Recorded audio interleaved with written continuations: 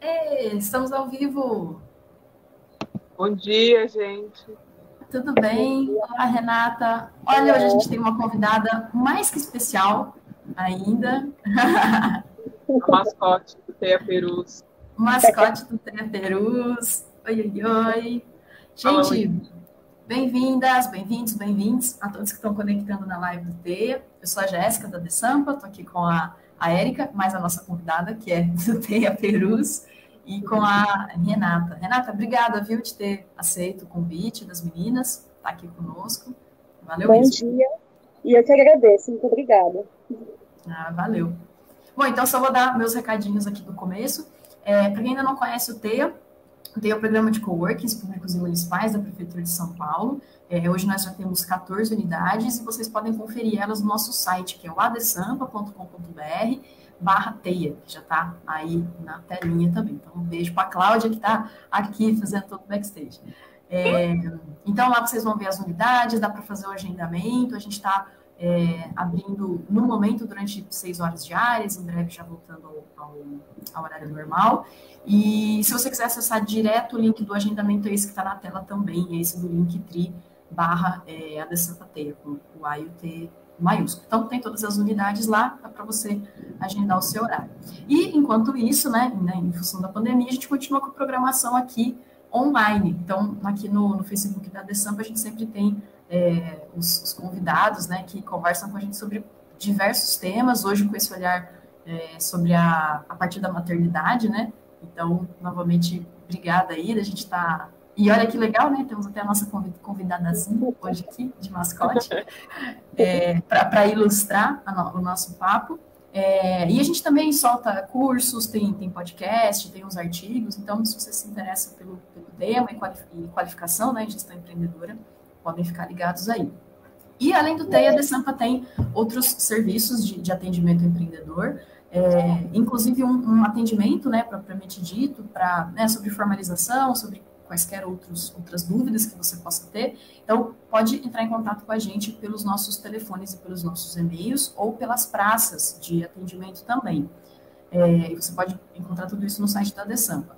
E aí na telinha você vai ver esse link do bit.ly barra Orienta Empreendedor, que é um pouquinho diferente, né? Se, se você quiser um, um, diagnóstico, um acompanhamento do seu negócio, né? Não, não só tirar uma dúvida pontual, a gente te convida a participar desse ciclo de orientação individual. Então, a gente tem os profissionais é, que recebem essas informações do formulário e entram em contato com você, né, para desenvolver esse acompanhamento aí um pouco mais é, orientado. É, e, além disso, a gente está com outras oportunidades aqui também. Então, começando agora é, do TEIA. Então, a gente vai abrir um TEIA novo lá na Zona Sul, na região do Grajaú, da Capela do Socorro é, no Céu Três Lagos, e nós estamos com o concurso público aberto para selecionar a entidade gestora desse TEI. Assim como vocês podem ver aqui na programação, cada um dos TEIs tem uma organização, uma empresa, uma associação é, por trás conosco fazendo esse, essa programação. Então, é até agora quinta-feira, dia 19. Se você faz parte de uma organização né, que fomenta empreendedorismo ou conhece alguém, podem divulgar também. É só entrar no site da Desampa, na área de, de editais, é o edital 29, tem a Capela do Socorro, lá do céu, Três Lagos. É, outra oportunidade que a gente está, então, agora falando do Amplifica Cine, é, que é um edital de aceleração para é, negócios voltados ao audiovisual. Então, a gente está muito feliz com esse projeto. É, sempre tem tudo a ver com, né, com a, a rede que a, que a Desampa já trabalha. Então, até dia 31 do 8, dá uma olhadinha aí, adesampa.com.br barra Amplificacine. É, o seu negócio, o seu projeto pode ser selecionado aí para participar das mentorias e no final do programa também ganhar um prêmio de 25 mil reais, se eu não me engano, para quatro dos selecionados. Então, por favor, não perca e nos ajude a divulgar também, porque tem muita gente é, precisando que pode fazer uso dessa, dessa oportunidade. E aí, por último, é, a gente tem uma, uma pesquisa, então a Prefeitura de São Paulo gostaria de saber mais sobre o perfil dos MEIs da cidade. Então, se você tiver um tempinho, a gente pede encarecidamente que você participe é, é esse bit.ly barra pesquisa MEI 2021, é, e participando você está contribuindo né, para a elaboração de políticas públicas aqui da prefeitura. Então, tem tudo a ver com a gente também. A gente pede que quem é, consiga dispor desse tempinho participe conosco. E acho que são esses, esses os recadinhos. É, Renata, obrigada de novo. Érica, beijo para você. Até já e vou me, vou me retirar aqui, vou deixar o papo com vocês. Valeu, meninas. Obrigada! Tia, Renata. Oi, tá estou. Nossa, prazerzão ter você aqui com a gente. Né? A gente, nos nossos rolês de, de maternidade, né? Maternidade demorou um pouquinho para conseguir, né? Conciliar. Sim. Mas estou felizona. E aí a Renata está aqui, a gente vai falar hoje sobre a ressignificação, né? Do empreendedorismo, a partir da maternidade, a partir da vivência da, da Renata, assim como acho que de muitas outras mulheres, né? Eu conheci a Renata, olha que louco, no, no, no Instagram de uma outra mana que faz um, que também é empreendedora, que é aquele Roma Rude.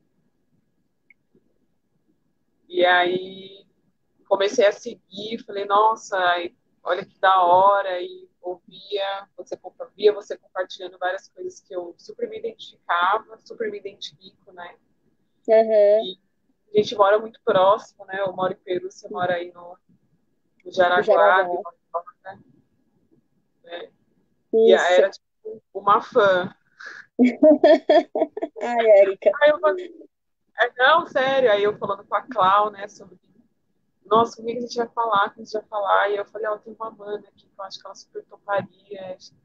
Porque é meu rolê, né? Sim. E aí eu queria que você começasse se apresentando e aí a gente vai tocando. Beleza. É, primeiramente, muito obrigada pelo convite, pelo carinho, pelo fortalecimento sempre, Érica. Prazerzão estar aqui podendo bater esse papo. Bom dia para quem está assistindo a gente. Espero que vocês curtam as ideias, né? Maternidade real, nua e crua das mamas periféricas, né? E, bom, sou a Renata, conhecida como Mama, né? Esse é o meu Google. É, sou selectas, sou DJ, né? No caso, seletora de música jamaicana. Trabalho com a seleção de música, fazendo som desde 2008 trabalho dentro da cultura reggae sound system, que é uma cultura jamaicana bem antiga, né? E sou mãe de dois meninos, tenho 38 anos, tenho dois meninos, o David de 11, né, do meu primeiro casamento, e o Benjamin de 13, que é, que é agora do meu segundo casamento. É, que mais? Estou um pouco nervosa, mas daqui a pouco deslancha as ideias. Tenho formação, além dessa profissão, né, como DJ, como mãe, também sou cozinheira, tenho como formação, né, sou formada em gastronomia e atualmente não estou trabalhando com isso, né, estou aqui em casa cuidando das crianças, pandemia, aquela coisa toda, me virando como posso, mas de início é isso, essa sou eu. E ainda tem a Mami Style agora, né? Ah, Sim, é que, é que o nome Style, né? Eu tô, tô vendendo uns artigos, uns acessórios, né? Roupas, camisetas, moletons, tudo decorrente de um projeto que eu já tenho, que nasceu em 2018, após a minha segunda gestação, né? De, decorrente da, dos perrengues que eu passei na minha segunda gestação, eu acabei criando esse projeto que chama Moomin Dub, que é um projeto uhum. também de musicalização de apoio às mães para elas poderem voltar é, ao convívio social, né? E acho que a gente vai falar sobre isso melhor. Se você quiser que eu comece falando Moomin Dub, aí eu já dou aquele gás. Aí já entra no Moomin Style. Eu ia falar que maternidade mais real que é, né? Que essa live aqui não vai existir, gente. Eu já tô com a Serena, tá super esfriadinha, sem, aí não vai para creche, né? E aí hoje é o home office e é a vida de quem Sim. Trabalha, tem filho é assim, né? O meu retornou hoje para creche. Ela doente também, retornou hoje. Ele tá doente, né? É. E é muito desafiador, né? Isso. Muito, muito, muito, gente. A creche é uma mão na roda para as mães como eu, assim, sem rede de apoio, sabe? é uhum. punk. Então, necessito muito do, do, apoio da creche. E hoje ele retornou, estamos aqui nesse bate-papo. Aí eu tô aqui, ó, bailando com a Serena no colo. Oh, meu Deus. Oi? E aí, Nath, queria que você falasse sobre, sobre tudo que você faz, né? Sobre como que você, como que você virou seletora, como que foi isso na sua vida. E aí você já tinha o seu mais velho quando você então, é... É. Vou, vou, voltar lá de trás do assunto. Se você achar que eu tô falando muito, gente, porque eu falo demais, aí você me tesoura, tá? Eu vou começar. Vou começar contando a história. Mas por falar meu mais velho, acabou de chegar aqui. Ó, é, 2008.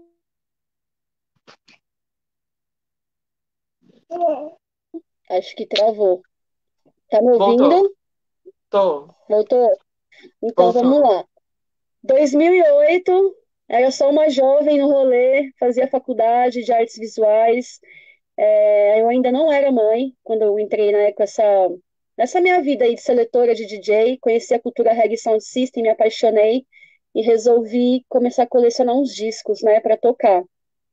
E era meio que sem pretensão mesmo, sabe? Ia numas, nos bailes e tal. E eu me identifiquei muito com a cultura reggae sound system. E aí eu comecei a colecionar uns discos e comecei a tocar em festas de amigos mais próximos, né? Fazer uns eventos aqui na comunidade mesmo que eu moro, de domingo, na noite, colocar o nosso som na rua. E nessa brincadeira foi indo, foi indo, foi indo, e eu acabei meio que virando profissional na área, né? É, uhum. Isso começou em 2008. Quando foi em 2009, eu já engravidei do meu primogênito, do Davi. Eu engravidei do Davi Continuei fazendo minha, meu trabalho com a música reggae.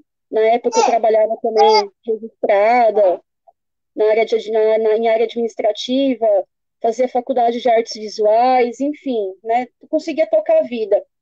Engravidei do Davi e logo após o nascimento dele, que foi em 2010, é, eu havia casado com o pai dele, eu morava lá em Interlagos, e morar aqui no Jaraguá. Eu sou lá da Zona Sul, lá do fundão de Interlagos, Jardim Guaimbu, Satélite, daquelas bandas lá. Então, eu vim uhum. morar aqui na Voit. Eu moro aqui desde 2008, aqui no CDHU Voit. E a minha gestação com o Davi, porém, foi muito tranquila, porque eu tinha uma rede de apoio, né, até então, estava casada com o pai dele, morava com a minha sogra, conseguia trabalhar, conciliar tudo até ele nascer, né. Uhum. Ele nasceu, foi um parto bem conturbado, né? A gente sofreu muita violência obstétrica no parto dele, quase perdi meu filho. Eu entrei uhum. sofrimento total, foi, uma, foi um lance bem traumático mesmo. E eu acho que eu não me formei, né, como eu deveria, assim, para entrar em trabalho de parto, saber dos meus direitos, enfim, eu não estava totalmente informada, então acho que acabei sofrendo além do que deveria, sabe? Nenhuma mulher merece passar por isso, pelo que nós passamos. É, Davi, e é culpa nossa, né? Não é culpa porque nós não tivemos, né? Porque o sistema que maltrata mesmo, né? O sistema maltrata, é muito falho, não é humanizado, infelizmente, a maioria dos hospitais, né? Então a gente acaba sofrendo mesmo, pagando o pato e pela má assistência dos profissionais, né? É lastimável, é. lastimável mesmo. E após Davi nascer, eu continuei tocando, continuei me fazendo minhas coisas, tipo, normalmente, porque eu tinha uma rede de apoio, e hoje eu vejo quanto isso foi fundamental para continuar fazendo minhas coisas. Eu vou chegar nessa, nessa, nessa parte ainda, né, sobre a falta de rede de apoio, enfim. E continuei fazendo minhas coisas normalmente, beleza. É, comecei a viajar, o Davi cresceu, fiquei, eu saí do meu trabalho, eu trabalhava registrada quando ele nasceu, e eu acabei saindo do meu trabalho pela distância mesmo. Vim morar no Jaraguá, eu trabalhava na Santa Cruz, e em consenso com o pai do Davi, achávamos melhor que era é melhor eu ficar em casa cuidando dele, até os dois anos, né? Uhum. E, enfim, ele me daria uma força, eu ficaria cuidando da criança. Ok, deu tudo certo. Quando ele fez dois anos, me deu um estalo.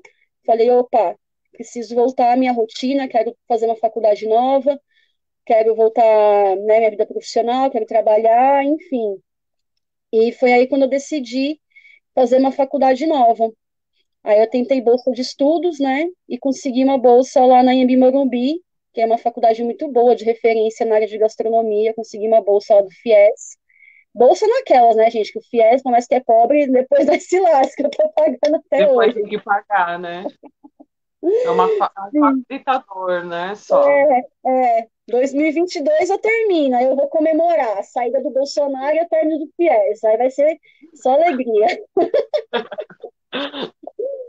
Mas, enfim, aí eu comecei, entrei na faculdade nova, né, por causa da bolsa, sem isso eu não conseguiria fazer, porque é uma faculdade que é cara pra caramba, e eu fiquei muito feliz e tal. E nesse meio tempo que entrei na faculdade, eu me separei do pai dele, né? Aí Uhum. foi quando começou o corre louco mesmo, e de trabalhar, eu morando aqui sozinha aqui na Voit, com uma criança, tendo que trabalhar, estudar. Porém, eu tenho até hoje o apoio da avó do Davi, né, da avó materna, da avó paterna do Davi, né, a minha ex-sogra, que é, nós somos muito amigas, ela é como se fosse minha mãe, então, graças ao apoio dela, eu consegui trabalhar, eu consegui me formar na faculdade, né, de gastronomia, foram dois anos, eu consegui me formar e consegui continuar fazendo meu som. Eu viajava para tocar de final de semana, então, o que aconteceu? Acabou que eu fiquei fazendo faculdade de gastronomia, trabalhava, passei por alguns restaurantes na época, e continuava fazendo som. Eu ganhava uma grana, pagava minhas contas fazendo som, entendeu? E, enfim, tudo muito maravilhoso até então, não saberia o que viria pela frente. É, dentro da música reggae eu tinha alguns projetos, como Feminine Hi-Fi, né? Eu sou uma das fundadoras da Feminine Hi-Fi, tinha os projetos com a música, tenho também o Vitrola Gourmet, que é uma cozinha, né, que é autônoma minha mesmo, que eu criei, que é onde eu vendia meus, meus alimentos em eventos, enfim, praças, na rua, quando tinha dias de folga, ou até quando eu ia tocar em festas que era tarde, levava meus, meus, meu alimento para vender. Então, meio que eu vivia assim. Tinha meu Uhum. biquinho ali, meu trampo, tocava, viajava, meu filho estava com a minha sogra, muito bem cuidado, ela sempre me apoiou em tudo que eu, que eu, que eu fazia, tudo que eu faço até hoje, aliás, né? Então, eu tive muito apoio dela. E É, os projetos, Renata, eles eram, eram esses projetos que, que, que a gente consegue pela prefeitura, vai, esses incentivos à cultura? Ou... Não, até, até então, não. Eu não tinha tentado. Aliás, eu tinha tentado passar por um vai com a Feminine Hi-Fi, a gente escreveu, mas nós não fomos aprovadas, né? E as coisas que nós participávamos, os eventos nas ruas que a gente rodava, SP na rua, virada Uhum. cultural, chegamos a participar de duas edições, né? Assim que a gente mandou, a gente sempre todo ano passava em virada cultural. Então, esses Uhum. eventos, né? E Aí, quando chegou em 2017, né, eu, conheci, eu, eu reencontrei o pai do meu atual filho, né, que já era um colega conhecido, que também toca na área da cultura, da, da, do reggae também, e nós nos encontramos e acabamos namorando, em três meses engravidei. Em Três Uau. meses, de, três meses de relacionamento do Benjamin, eu engra... meu filho tá ali dando risada de mim, desculpa, gente, eu perco o foco. O que foi, Davi?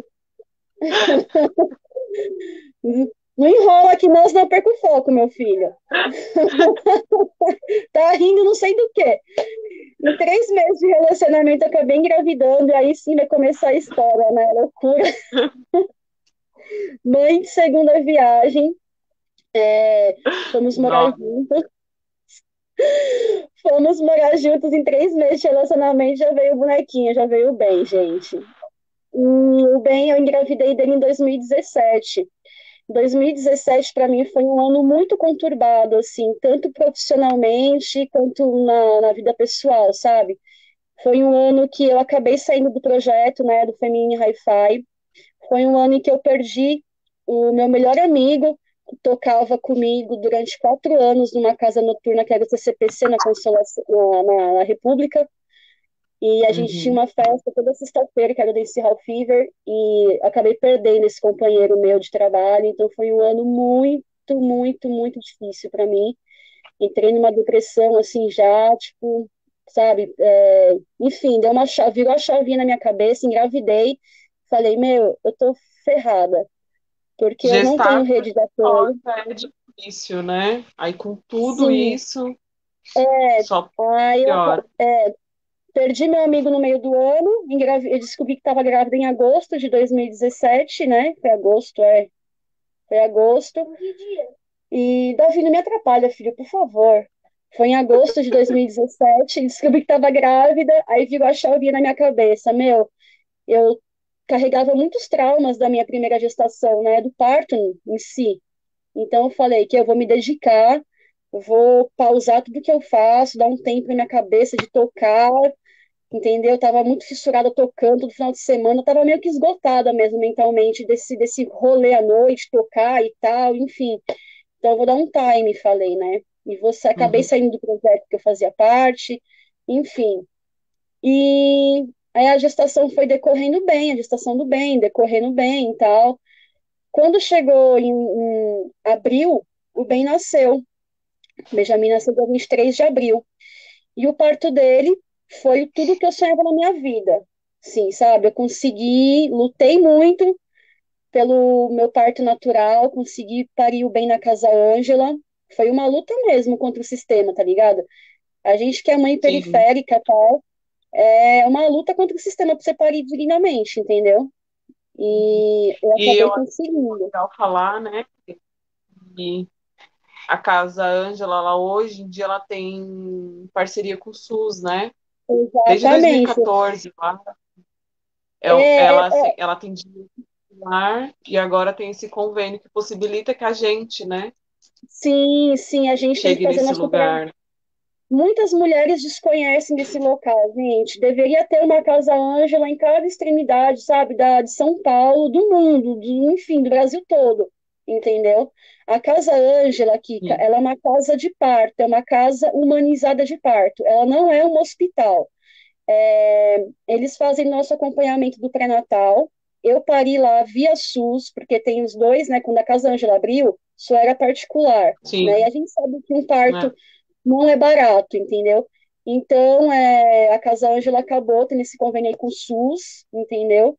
E as mulheres que fazem acompanhamento do pré-natal pelo postinho próximo da sua quebrada que você mora, a partir do sétimo mês de gestação, você pode ser acompanhada, 27 semana, desculpa, só 27 semana, você pode procurar a Casa Ângela, ela fica ali próximo ao terminal João Dias, no bairro do Monte Azul, tem a página no Instagram, Casa Ângela, gente, se vocês conhecerem, estão assistindo, uma mulher grávida, indica para ela a Casa Ângela, a minha irmã, meu sobrinho lá um, em, em junho do ano passado.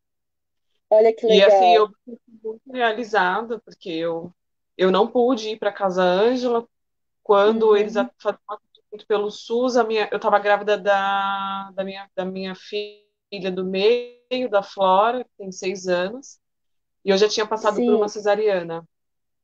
E aí é, elas, tem... né, eles não têm né? Por conta é, da, de tem... chances de Sim. ruptura de útero, lá... alguma condição, né? É porque, assim, lá por ser uma casa de parto e não ter médicos, e sim apenas enfermeiras, obstetras e obstetrizes, né? Lá não tem médico, você não é acompanhado por um médico ginecologista, obstetra, elas são enfermeiras, né? Mas são enfermeiras uhum. que são super capacitadas. Então, se você tem alguma decorrência de uma cesárea prévia, você teve uma cesárea anterior, ou se você tem algum problema na sua gestação, com placenta, é, ou com diabetes gestacional, pressão alta, é o protocolo que eles têm que você não pode parir lá, porque se caso aconteça, não tem assistência adequada de um hospital, né, UTI, essas coisas. Então, é uma parada bem... Resguardarem também, né? É o quê? Para elas poderem se resguardar também, né? De, se, acontece qualquer coisa, elas perdem um convênio, né, com o SUS, e aí muitas Sim. outras mulheres perdem a assistência delas, Sim. né? Mas a Casa Ângela são profissionais tão super capacitados, nunca ouvi falar nada de lá, entendeu? O que tivesse acontecido lá. É, lá é uma casa mesmo, fica no meio de um bairro residencial. Quando você entra lá, não parece que você está parindo no hospital. Aquele clima de ar-condicionado gelado, aquele cheiro de hospital, aquele corre-corre. Não, lá você é realmente acolhida, entendeu? Parece que você está tendo um parto domiciliar já começa é pela, pela, pelo atendimento dos profissionais. É um atendimento humanizado mesmo, né? Totalmente humanizado. É o foco deles, é o atendimento humanizado. E, gente, parir lá é muito roots, é muito Gente, é muito transformador para a mulher, gente. Acho que foi uma das coisas, uma das experiências mais maravilhosas que eu tive na minha vida, de verdade. Eu, eu acho que eu tive a Serena, a Sereninha, em casa. Né? Eu tive um Olha. parto domiciliar, com parteira, com doula. Nossa! Depois de duas cesarianas. Então eu fui. Tá vendo? É capaz, todos. É capaz. O sistema que põe na sua cabeça que você teve uma cesárea. O sistema é business total, gente. Ele quer que você tenha cesárea. Se lá inventam mil coisas, né? Você é muito baixa, você é muito alta, você é muito gorda, você é muito magra, ou. Sempre tem alguma coisa. E aí eu, eu falo que depois dessa experiência, é isso que você falou mesmo. Eu, eu, eu, inclusive, comecei a encarar a minha maternidade de um outro jeito. Exatamente. Sempre foi uma cura de todas as, as violências que eu sofri sim. nos outros.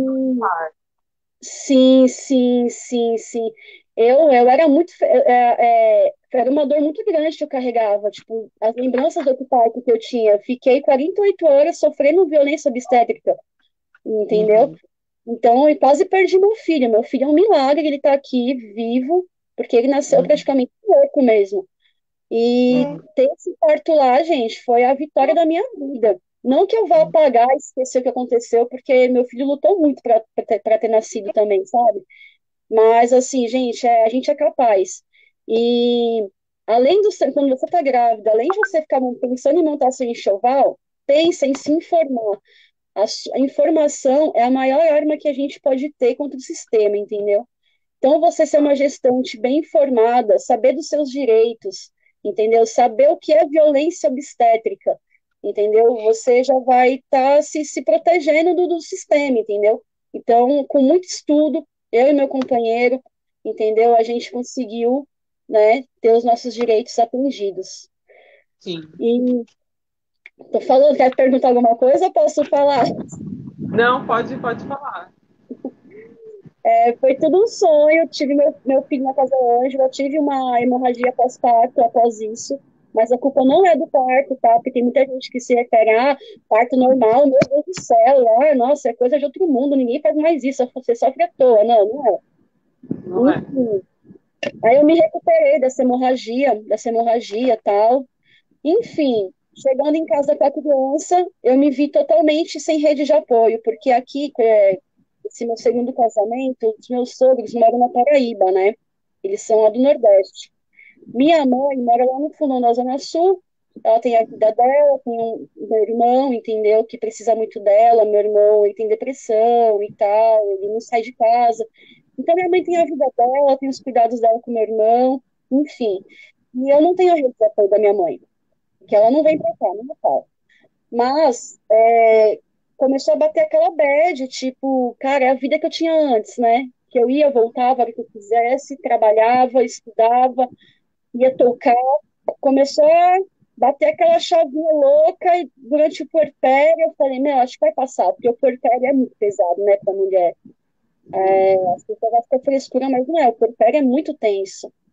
E foi quando eu me vi sem rede de apoio, meu marido tendo que trabalhar, que nem louco, eu sozinha com a criança, as contas chegando, enfim, né, com a neurose dominou, né? E eu acabei me entregando a uma depressão pós-parto, mesmo, assim, ferrada, ferrada mesmo. E, e as coisas que eu fazia antes, principalmente estar tá tocando, porque eu amo tocar, eu amo a música, amo fazer os outros dançar, então eu falei, caraca, tô sem projeto nenhum, tipo, joguei tudo pro alto, agora eu tô aqui com vontade de fazer alguma coisa. E eu comecei a fazer desabafos pelo meu Instagram sobre a maternidade real mesmo, né? Sobre o que a gente passava. Isso começou a colar várias mães me seguindo, e a gente começou a formar uma rede ali, sabe? Bem natural mesmo. E eu postava vários stories, quando eu tava aqui em casa sozinha com, com o Ben, sabe? Bebezico. Fala, meu, tô mal, tô assim, tô assim, aí isso é assado, falando a realzando mesmo. Eu não romantizava absolutamente nada. Fui criticava as pessoas? Fui. Eu me numa rede de mães que eu amo, entendeu? Me deu muita força. E eu a gente acabava tendo experiências, eu falei, cara, tô aqui sem rede de apoio, tem várias mães aí também na mesma situação que eu, quer saber? Já que eu tô aqui parada com depressão pós-parto, e a galera que me chamava pra tocar antigamente não me chama mais, porque pra gente virar mãe, a galera meio que esquece da gente, né? Ah, teve um bebê ali, ó. Né? É, a pessoa parece ser meio inválida, né? Enfim, só te ver como mãe, esquece a profissional que você era, que você foi, que você é, entendeu? Eu falei, eu falei, já que eu não tenho oportunidade, então eu vou criar as minhas oportunidades. Foi quando nasceu o Mumen Dub. E o Mumen Dub é um projeto, né, voltado para música reggae, cultura sound system. É um projeto que abraça o empoderamento materno e é um rolê, é um projeto barra rolê para que as mães possam voltar ao convívio social, porque a gente não sai justamente, gente, se eu quisesse sair, eu não tenho quem deixar meu filho. E a gente merece sair. A galera fala, ai, pariu, quem pariu, Matheus que balança, enfim, sabe, essas coisas. Mentira, é. quer sair junto. Acha que nossa vida acabou, que a gente não pode mais sair, tomar uma cerveja, namorar, fazer mais nada, tá ligado? Acho que tem que ficar sem casa cuidando de filho, mas não é, nossa vida não acaba porque a gente virou mãe. Jamais ela tem, é, eles acham é santificada, né? A mãe santificada. Ela... Coloca um véu na nossa cabeça, nossa, Virgem Maria, mãezinha. Não, gente, pelo amor de Deus, cara. né? O filho não acaba com a nossa vida, entendeu? A gente não tem que viver só para o filho, nós somos mulheres antes de sermos mães, né? Nós temos uma vida ali. Ninguém pode se esquecer disso, sabe? Mas esquecem. E a gente tem que estar lembrando e mostrando para a sociedade que a gente pode estar onde a gente quiser, lugar de mãe onde ela quiser também, entendeu? E eu acabei criando essa festa para as mães possam colar com seus filhos, as mães que não têm que deixar sem rede de apoio, que as mães querem sair, que ouvir um som, que beber uma breja, desbaratinar, conversar com outras mães, conhecer gente nova, tá ligado? Então é um rolê que as mães colam com seus filhos, tá rolando o som da hora, discotecagem, é um rolê que é só feito por mães, né? É mães cantando, é só mães cantando, é mãe na portaria ajudando. Oh, meu Deus! É, é o rolê aqui, ó, da mãe. É o rolê, amiga, é isso. São mães, é, tra, tra, são mães é, é, do céu, como é que deu uma, um branco aqui na minha cabeça. Mães também que trabalham com empreendedorismo, entendeu? No meu projeto, eu apoio as mães empreendedoras periféricas para que elas possam ir expor seus trabalhos, né? A gente cobra uma taxa simbólica e essa taxa simbólica é revertida para que a gente possa pagar outras mães que são convidadas a trabalhar no rolê, porque lá todo mundo recebe, entendeu? A gente tem que ser uma coisa simbólica, a gente tenta pagar alguma coisa para as mães que vêm tocar, que é DJ, que é cantora, tem mães também que vêm intermediar rodas de conversa com a gente debate temas sobre, sobre, sobre maternidade, entendeu? E aí rola uma roda de desabafo ali, que é maravilhoso o bate-papo que tem entre as mães. Tem recreação infantil para as crianças também, para que as mães possam ficar de boa, trocando ideia, tomando uma breja, ouvindo as crianças estão brincando. Gente, não é porque eu sou eu que faço, tá? Às vezes Oi? ainda tem. Não, eu ia falar, que é importante a gente ir e ainda ter suporte nos lugares, né? Porque às vezes a gente vai, mas chega, Sim. tem que continuar Tem que cuidar. Lá a gente se ajuda, entendeu? As crianças, eu contrato os recreadores de confiança, que são amigos meus, que fazem recreação em outras festas, dentro da cultura reggae, as crianças adoram. Aí tem gincana, tem pintura em rosto, coloca o livro infantil, tem várias coisas para as crianças fazerem, entendeu? Então, elas ficam correndo para lá e para cá, Oi? Não adianta só acolher as mães, né? A gente precisa de espaço, de espaço Sim. as mães e os filhos, né? Exatamente, porque essa é a proposta, entendeu? É acolher as mães e seus filhos. Tem que acolher os dois. Não adianta, tem várias festas de, da cultura reggae, que é o que eu frequento, assim, que eu vou falar, que a gente vai, que eu vou com meus filhos, e, tipo, não é um espaço acolhedor sabe? Então a gente cola, vê o ambiente, ela tem que ir embora logo. Tipo, às vezes tem um rolê mó legal, tá numa praça, mó da hora, mas falta, um espaço pra gente, por exemplo, pra criança, um espaço para trocar a criança, sabe assim? Não sei, uma alimentação mais adequada, sabe assim? Tipo, a galera pensa em fazer festa, mas não pensa em acolher as famílias. Hoje em dia, eu tenho, uma, eu tenho um outro olhar. Porque eu falo para você, a gente precisa sentir na pele algumas coisas às vezes para ver, porque na minha primeira gestação com o Davi, eu tinha rede de apoio. Eu nunca tinha parado para pensar. Chega até a ser um egoísmo da minha parte, mas infelizmente é isso. A gente aprende com, com, com, com a vida, com os erros. Eu nunca é. tinha parado para pensar, puta, meu, e é como que é a vida de uma mãe sem rede de apoio, entendeu? Então eu precisei passar, sofrer, sentir na pele mesmo, entendeu? E agora todas as minhas festas que eu faço, é, pensando no acolhimento. Eu quero fazer uma festa para a família poder vir, curtir, se sentir bem acolhida, entendeu? Todo mundo se divertir, criança, mãe, pai, entendeu? Tem espaço um tocador para criança fazer xixi, para trocar. Tem espaço que fala assim, ah, você, as crianças são bem-vindas, né? Tem eventos no Facebook que eu vejo que, ó, crianças são bem-vindas. Porém, quando chega no espaço, não tem um trocador para trocar o bebê. Aí a mãe vai trocar o bebê em cima de um balcão, num, num carrinho aberto, a galera fica olhando de lado, torto, com nojo.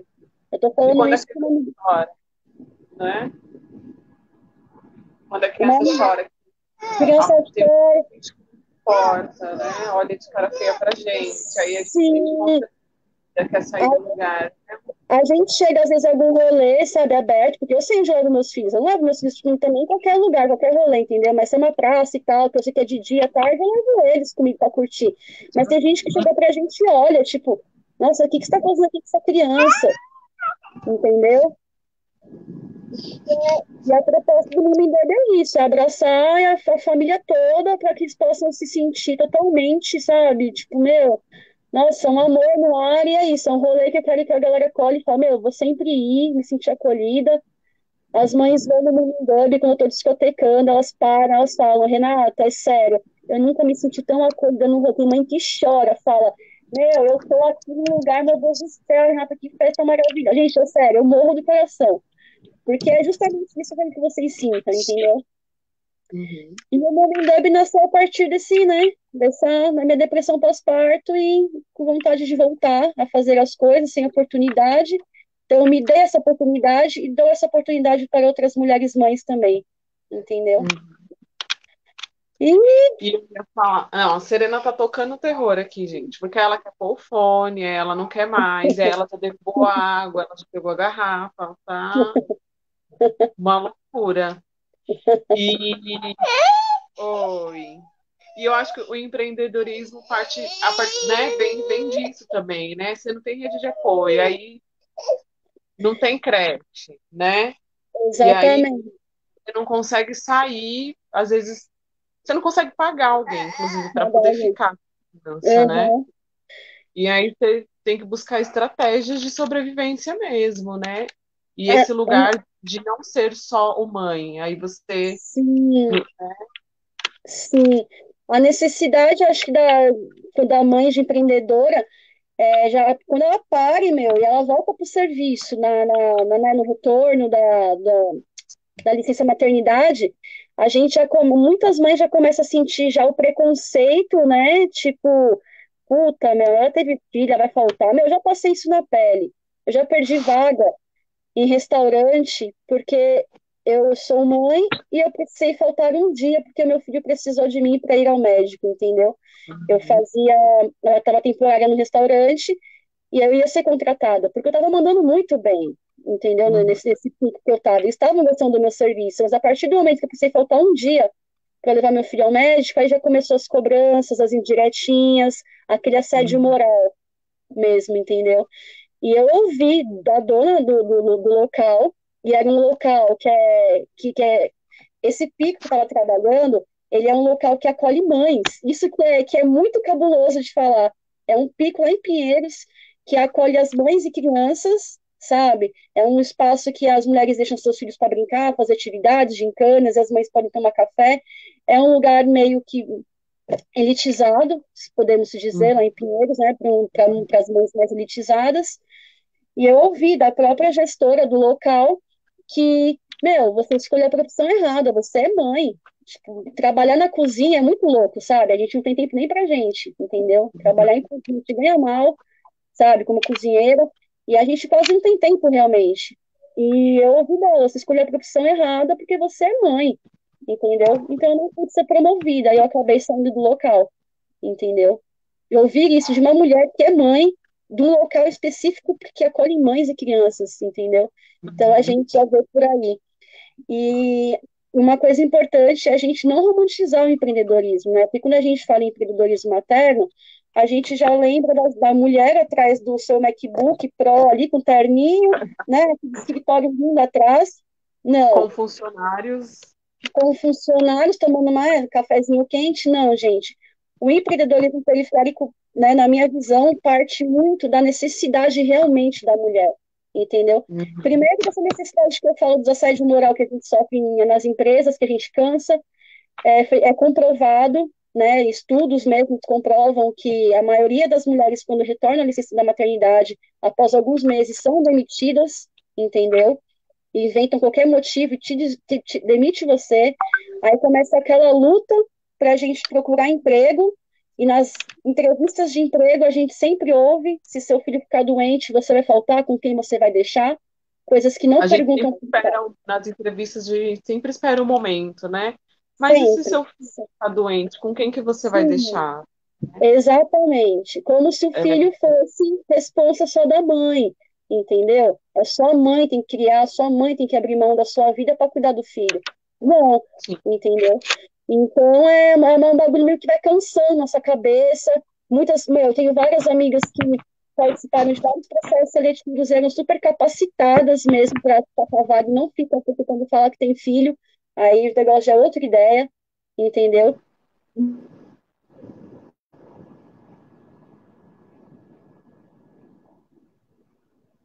E volta. Voltou?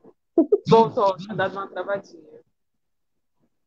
Eu tô falando muito, você me fala, meu, que não deixa nem você falar não, quase, meu Deus. Eu falar da onde veio, tudo que você faz, sua vivência, é isso mesmo. Então, e é, voltando, né, mulheres capacitadas que perdem a vaga só porque são mães, entendeu? Então isso acaba cansando um pouco, né, o psicológico das mulheres mães, e elas não veem outra saída a não ser empreender, entendeu? Empreender. E quando a gente pare o filho, muitas vezes também a gente pare uma grande empreendedora dentro da gente, né? Pelas reais necessidades mesmo, né? Porque nós, mães periféricas, a gente não tem legado de pai, de mãe que deixou a empresa, que, que banca a gente, né, para investir em alguma coisa, entendeu?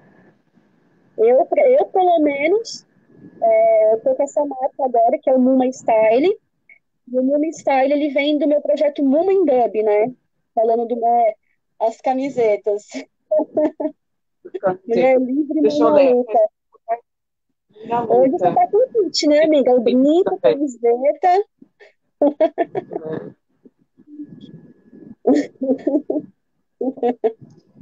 Uniformizada. Então, a gente, assim, como eu tô, é, a gente que é mãe periférica, a gente precisa empreender alguma coisa por necessidade mesmo, sabe? É, a gente não tem é, herança de pai e mãe para bancar né, nossos material, para alguma coisa para fazer, enfim. E o Muma Style é uma marca, né, que é Muma Style. Muma vem é, da palavra mãe em jamaicano, né, que eu trabalho com a cultura reggae, então Muma é mãe em jamaicano. E nasceu a partir do Muma Dub. O Muma Dub eu já vendi umas camisetas, né, com logo do meu projeto, vendia uma aqui, outra ali, não era nada sério, sabe? Vendia uma camisa aqui, uma remessa aqui. Aí eu comecei a pegar pesado na pandemia, porque na pandemia meu filho também parou de ir para creche, porque assim que chamou o Benjamin para ir para creche, né, ele tinha um ano e pouco. A vaga demorou um ano e pouco para sair, e eu naquela depressão pós-parto, muito punk mesmo, muito punk mesmo, muito, muito, muito. Ele, resol... ele foi chamado para creche, e foi um mês, mais ou menos, ficou doente, pegou uma virose terrível, todo mundo aqui em casa pegou, foi quando começou a pandemia. Se tá, podia ser até coronavírus na época, gente. E todo mundo ficou em casa doentaço, e aí tudo parou em São Paulo, no Brasil todo, né? Aí, durante a pandemia, eu me vi é, sem grana, auxílio emergencial, né, que me ajudou muito a, pro, a colocar alimento dentro de casa, demais. E eu, eu, vou fazer mais camiseta e nisso, durante assim, a pandemia, eu também resolvi me inscrever em um edital. Falei, eu vou é, arriscar, entendeu? Porque tem coisas que eu quero realizar dentro do Moment Dub que financeiramente eu não vou conseguir. Então eu preciso de um apoio de um edital. E eu comecei a escrever um edital para eu poder montar o meu próprio sistema de som, né, o meu som, para eu poder ter autonomia de fazer a festa do Moment Dub não só em locais aqui em São Paulo, é, que tenha som na casa já. Eu quero ter meu próprio som para levar meu projeto para fora, para o interior de São Paulo, para outros lugares, sabe? Para rodar mesmo em São Paulo e, enfim, outros estados que é meu, meu som próprio, ter autonomia total do meu projeto. Aí eu me inscrevi no edital do REG, né? E acabei, acabei passando. Uma nota muito boa, foi uma das melhores notas, assim, meu projeto passou, gente, nossa, dei um pulo da cama quando eu vi o resultado, até caí da cama, eu tava doente. Aí meu amigo falou, nossa, saiu o edital, eu falei, que? Aí eu fui tentar avisar meu marido, eu tomei um tombo, gente, porque é um sonho, entendeu? Eu trabalho dentro da cultura reggae há muito tempo e eu sempre quis ter o meu próprio som, né? Meu próprio sistema de som, sabe? Cansei de tocar no dos outros, de esperar convite dos outros. Eu queria ter minha autonomia de fazer meu próprio rolê. E eu fui muito abençoada e o editor passou. tá, tá travada aí, Érica. Você travou aí, né? Eu ia falar assim, como muitos outros, né? Tá travado aí, a sua voz tá robótica.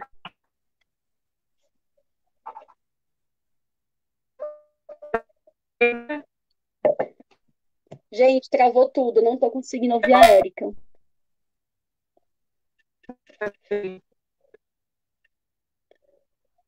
Ai, meu Deus, não tô conseguindo ouvir.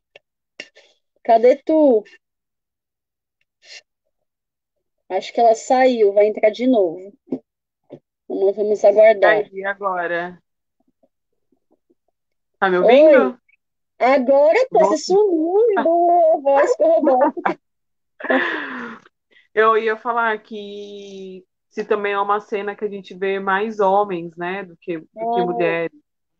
Sim, a cultura, a cultura reggae, sound system, né, jamaicana e tal, ela é uma cultura majoritariamente composta por homens, né, sempre foi, e a inserção de, de, de, de Minas no, no, no, nesse rolê aí é, graças a também a Femini Hi-Fi, que é um projeto que a gente criou, né, lá atrás, eu, a Daniel Pisces, a Andréa Labstege, a Laila Ruda, nós criamos Femini Hi-Fi é, justamente para poder acolher as mulheres, para poder formar um rolê massivo só de mina nos controles, tá ligado?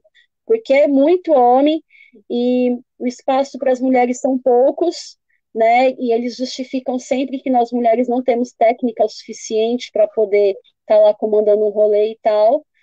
E a uhum. gente tá ligado, né? o machismo tem em todo lugar. Então, é uma luta, é uma luta constante. Tô aí nessa batalha desde 2008, não desisti, não vou desistir, entendeu? E é isso. E tá aparecendo várias minas na cena agora tocando, colecionando discos, formando novas crios, né, o sound system, mas ainda é muito pouco comparado né, ao número de homens. Mas é um trabalho árduo aí a ser, a ser realizado. Já sofri diversos, diversas casos de, de machismo mesmo. Uma vez fui tocar em uma festa, eu junto com um amigo meu, e ele recebeu para tocar, pagaram ele, meteram louco em mim, não quiseram me pagar, como se eu tivesse, como se estivessem fazendo um favor para mim, né, me convidando para tocar. Ah, eu fiz um escarcel, né, minha filha?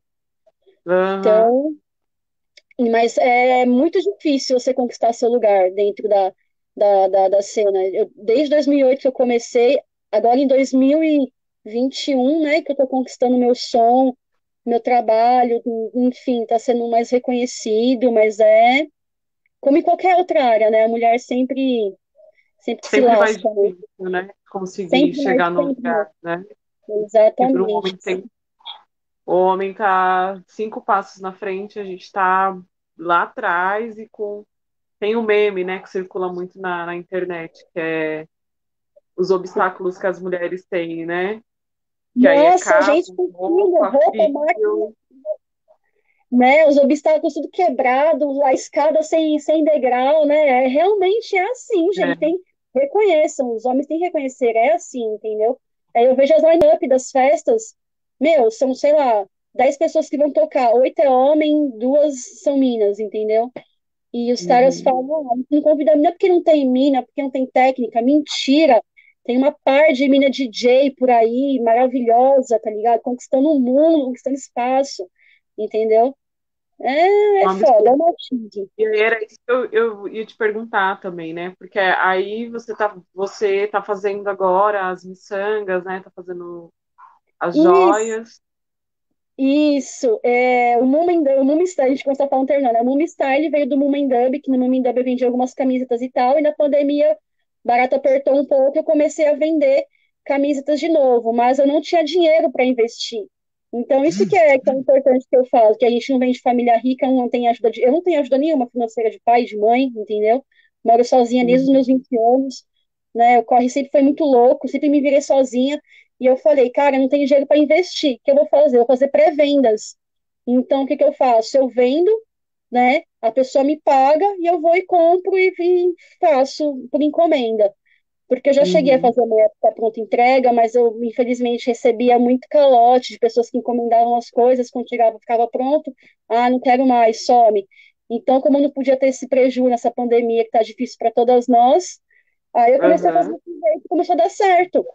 Aí começou a sair vários moletons, várias camisetas, que quem quer comprar é assim, gente, já chega e fala, ó, encomenda, não tenho condição de ter estoque das minhas roupas, né, que nem essa aqui que a gente tá usando, a pessoa encomenda, tal, você tá ligada, você, fez, você comprou comigo, né?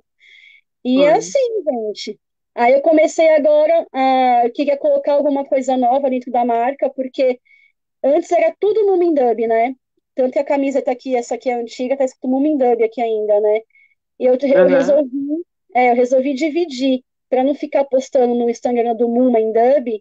Quem tá aí assistindo a gente, quiser conhecer um pouco mais desse projeto, tá passando aqui, ó, no, no letreiro, Mumi Style, que é a página da minha marca, que você pode encomendar os artigos e acessórios. Rude Mama, que é o meu Instagram pessoal, e o Muma em Dub, que é do projeto. Aí eu resolvi fazer o Muma é, Style, já queria fazer isso há tempos, mas não tinha dinheiro para investir nas coisas. Enfim, fazer alguma coisa voltada mais para a comunidade materna mesmo, e essa, essa, foi a hora. Entendeu? Não tá sendo fácil, é difícil pra caramba ficar lá divulgando. O Instagram tem boicotado muito a empreendedora, tá ligado? Várias amigas minhas estão passando pelo mesmo, pelo mesmo problema. E aí eu queria colocar alguma coisa nova, assim, ser roupa. Só que eu também não tinha dinheiro para investir e tal, aquela, aquele aperto. Eu falei, meu, eu tinha uma grana, sobrou ali de um trampo que eu fiz de uma live, né? Tinha 300 conto. Eu falei, meu, esses 300 conto é pra ter na minha vida. Eu preciso investir em alguma coisa, Deus, que vai dar certo, alguma coisa que vai vender. Nem que, nem que eu retorne tudo, só que eu gastei, mas eu preciso fazer alguma coisinha nova para colocar na loja, né? Porque eu tô me dando de corpo e alma pra essa marca. Só que, meu, não é fácil você ir bolar uma camiseta nova, mandar fazer tela, mandar fazer estampa, tem tudo um investimento, sabe? E eu não tenho apoio de ninguém, entendeu? Eu vou lá, com, mando meu amigo fazer a tela, eu faço a arte, um amigo meu faz a tela, e aí fazer a tela é caro pra caramba, tá ligado? Aí eu vou Aham. atrás, vou no Brás, compro os, os materiais, levo, gente, é um corre, entendeu? Tudo sozinha que eu faço isso. Meu marido me apoia, apoia. Mas, é assim, o corre mesmo de bolar, é, divulgação, é tudo eu. Aí eu peguei, resolvi na 25 de março lá, dei um rolê, me deu um estalo, eu falei, meu, eu vou fazer a bijuteria, nunca tinha feito na minha vida. Aí eu comecei a... Aí eu fui sozinha pesquisar umas lojas, porque tem muita coisa de bijuteria lá, entendeu? Tem muito rolê. Aí comecei a pesquisar preço, pesquisar aquilo, material, assisti vídeo no YouTube, sozinha também, e fui. Aí comecei a fazer uns brincos, ó, uns brinquinhos, comecei a fazer colares, né? E aí É que tem a parte criativa, né? Como ser criativa com, Sim, com sim. 300 Eu acho coisas para fazer, né? É, o Ben, o Benjamin em casa, a creche não tinha voltado ainda, e ele louco vendo as miçangas aqui, gente, eu não conseguia fazer nada. Eu ficava, meu, eu gastei gerator, não vou conseguir produzir nada. O moleque sobe aqui em cima da mesa quando ele vê abrir um pote de miçanga e pronto. Aí, aí ele dormia, o marido ficava com corria para produzir alguma coisa. Aí eu comecei a postar, porque são acessórios, né, voltado também para a comunidade materna, é que esse brinco não é, mas o que você tá, tá, tá escrito madre, né, tem, tem os chokers matriarcado, tem mother, tem várias coisas, mommy life, mommy power, é, unpower, então eu tô fazendo umas biju e as meninas começaram a pirar. E antes de eu lançar, eu só comecei a tirar foto, postar nos stories, né, para falar, gente, vou lançar uns acessórios. Aí as minhas já foi ficando louca, me chamando no direct, você é uma delas, e acabaram comprando. acabaram comprando meu estoque antes de eu, de eu lançar. É muito, imagina a força que é isso para mim, meu irmão. Muito obrigada, de verdade. Tamo junto. E é isso. Tamo aí na batida. Vamos ver até onde vai. Não, e é incrível. Foi isso. Quando eu vi, porque eu piro, né? Eu eu piro, assim. Aí eu vi, eu falei, nossa, Mama Boss, que eu tenho chinelo Mama Boss, que é lá o da, da Mama Rude, eu tenho a blusa. É. Inclusive, aí aqui umas amigas me chamam de Mama Boss. Ah, Mama Boss, Mama Boss. Aí na hora que eu vi o brinco, eu pirei. Eu falei, nossa, vou chegar de moletom e chinelo de, de, de baby look. E é muito bom poder fortalecer. Eu compro de outras mães também, sabe? Tem amigas minhas que nem a mãe Zica, sabe? A Mini Gente, são outras mães também periféricas que eu fortaleço quando eu posso. Não é sempre consigo comprar tantas coisas também, mas eu gosto de comprar de outras mães, eu consumo marcas de outras mães também. A gente tem que se ajudar. Se a gente não se ajudar a se fortalecer, gente, ninguém vai fortalecer. É, é nós por não, nós, entendeu? É. é isso que eu falo. Até já falei aqui algumas vezes, inclusive, até quando eu vou na feira, eu compro uhum. barracas que eu sei que são mulheres que acordaram cedo, que deixaram às às vezes tem esteira no chão com a criança deitada embaixo da barraca, porque, meu, é, é mó isso, isso mesmo, é isso mesmo. Entendeu? Esse é o então, da mãe primeira periférica. Sempre fortalecer aqui no bairro tem o um mercado que quem trabalha no caixa, que todos são todas as são todas mulheres, todas. Sim, é uma família. Sim. E a gente sabe como que é difícil, né? Eu fui criar, eu cresci numa casa com 11 mulheres. Só tinha é. meu irmão de homem. Então era minha avó, minhas tias, minhas primas. Então eu, eu sei o quanto é difícil, eu lembro o quanto era difícil para minha mãe sair, deixar a gente para poder ir trabalhar, porque era isso, né? Não tinha, minha mãe não tinha outra alternativa. E aí, já que a gente tem, né, é. tem uma você também consegue fortalecer, por que não nos fortalecer, né? É muito importante. Porque você fala da sua história, né? E eu me vejo em muita, muitos lugares, né? Na depressão uhum. pós-parto, é, a necessidade de se reinventar, né? O do não romantizar a maternidade também, que é, às vezes a gente choca as pessoas, né? Nossa, choca, mas como nossa. que eu já Você fui julgada. Sim, é. eu já fui julgada, recebi vários directs. Nossa, vou parar de seguir você. Por que, que você fala assim? Não sei que a maternidade não pesa. Fala, ah, vai com Deus. Ah, ah, ah sai. Entendeu? É... Não precisa nem avisar que tá saindo, né? É, entendeu? e, vai... é.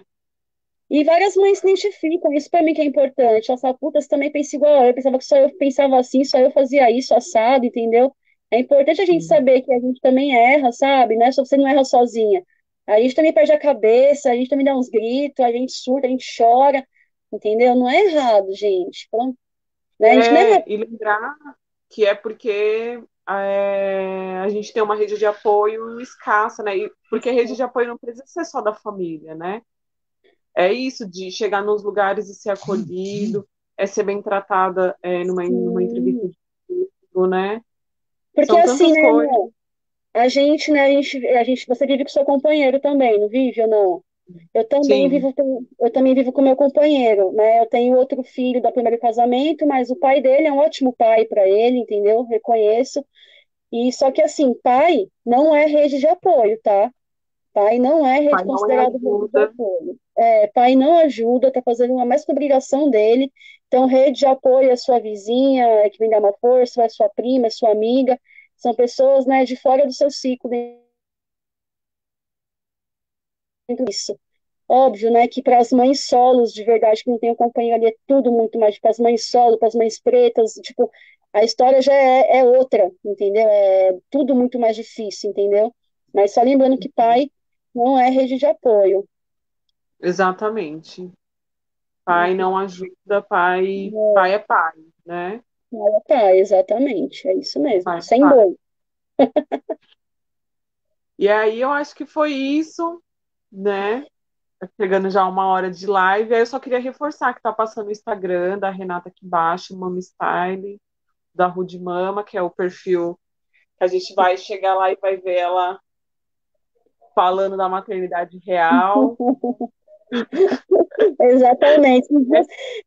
Esses dias estão um pouco assim, não estou postando muito, porque eu estou tão focada na, na, na, marca, no styling, em fazer as coisas em casa aqui, em ganhar dinheiro, gente, que eu estou tá um pouco escasso, mas me sigam lá nos meus trabalhos, divulgam para outras mães que possam gostar, se identificar, minha marquinha, fortaleçam aí o Corre das Mamas. Reais. E aí, isso, aí lá tem todas as informações, né, de valores, de entrega, de pagamento. Sim. Tem meu WhatsApp no link do, do, meu WhatsApp, quem quiser falar comigo, tem no link da minha página do Mom Style. Quem quiser uhum. encomendar alguma coisa, trocar uma ideia, tô lá, gente, tô super aberta, gente boa. Se demora para responder é porque a correria tá louca, mas e aí a gente espera você também fisicamente lá no Teia Perus. Aí eu queria Gravou. também falar para Municipal, que é pertinho da estação de trem. Érica, ficou mudo o seu áudio. Tá ouvindo agora? Ficou mudo. E agora? Meu microfone tá aberto, meu Deus do céu. Você quer que eu saia e entre de novo ou não precisa? Se quiser, faz assim para mim. Se quiser que eu entre, eu saia e entre de novo. Eu tô te ouvindo. Eu tô te ouvindo. Eu não tô te ouvindo. Não. Você não. Ixi, deixa eu ver, peraí. Deixa eu falar com a Clau que tá aqui.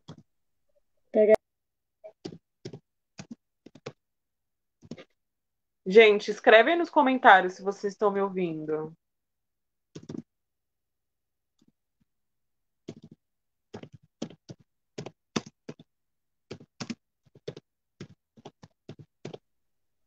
Voltei, tá me ouvindo? Tô, tô te ouvindo.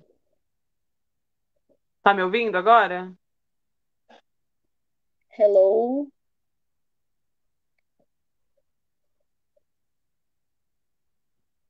Tá me ouvindo? Eu tô te ouvindo. E você? Pronto. Tá ouvindo? Tô, tô ouvindo. Ah, ufa. É a internet tá falando muito aqui. É, aqui é bem ruim também, aí, eu tô. É, aí eu queria te falar isso, que o Teia Peru está aberto, o Teia, como a Jéssica falou na entrada, é um espaço para microempreendedores, um espaço de cowork público. Então, o que você precisar, estamos lá, é super do, é do lado da, da estação de trem, fica dentro da biblioteca, Padre de Anchieta. Ah, vamos e... informar mais sobre o Teia, legal. Isso vamos fortalecer que o TEI é um espaço para isso também. Legal.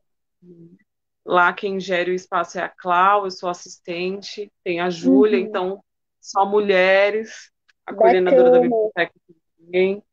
É, e aí eu queria agradecer a Eco Cultural também por essa live, a De Sampa.